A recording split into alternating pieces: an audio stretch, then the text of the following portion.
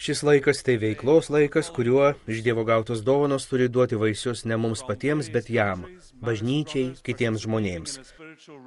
Taip popiežius Pranciškus kalbėjo šio trečiadienio bendrosios audiencijos dalyviams, kurių buvo beveik 80 tūkstančių.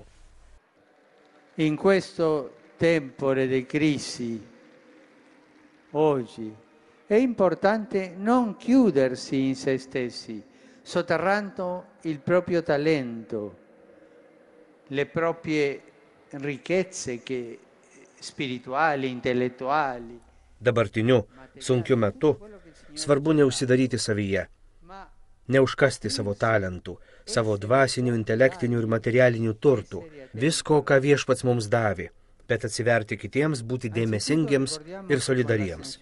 Popiežius ypač jaunimą ragino siekti didžių idealų, tarnauti, leisti į apyvartą savo talentus.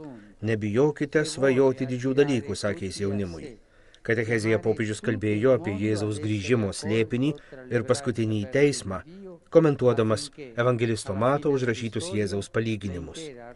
Palyginimo apie dešimtį mergaičių, aiškino popiežius, Kristus mus ragina matyti jo buvimo ženklus, palaikyti gyvą tikėjimą malda ir sakramentais, būdėti, nemiegoti, ruoštis naujam susitikimui su juo. Miegančių krikščionių gyvenimas yra liūdnas, nelaimingas. Krikščionis turi būti laimingas, turi džiaugtis su Jėzumi.